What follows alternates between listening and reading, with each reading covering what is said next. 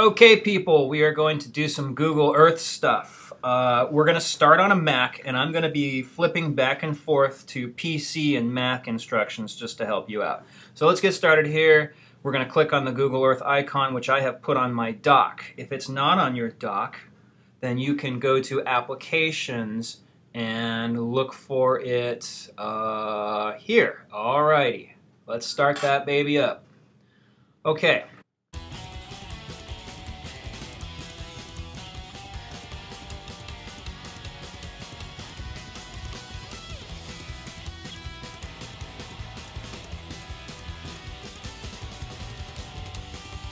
couple of things I want you to do first. We're going to get rid of this crap at the bottom here. And the way we do that is we're going to go, well, first thing we're going to do on our Mac is we're going to click that. Let's make sure we have things clicked. Toolbar, sidebar, um, show navigation always. Status bar, we'll keep that. Grid, now we're going to toggle this on and off occasionally because this shows you latitude and longitude.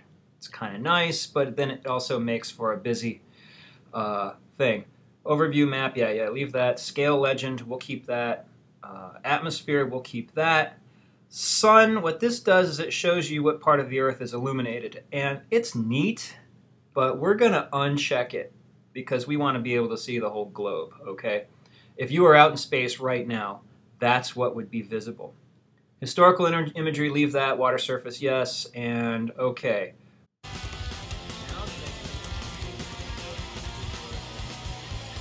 Preferences and we are going to go to navigation.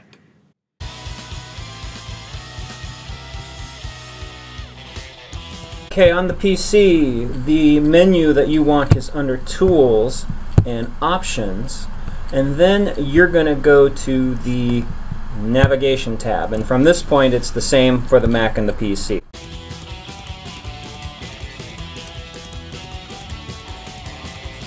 And what I want you to do is I want you to select do not automatically tilt while zooming. It'll really torque you off all the time. Uh, I have a joystick plugged in, so if you want to do the flight simulator, go ahead and check this now, and for now just ignore it. Okay, general, what do we need? You shouldn't need to change that. You shouldn't need to change that, or that, or this. Okay, don't leave don't change anything except navigation. Do not automatically tilt. Now, hit OK. All right.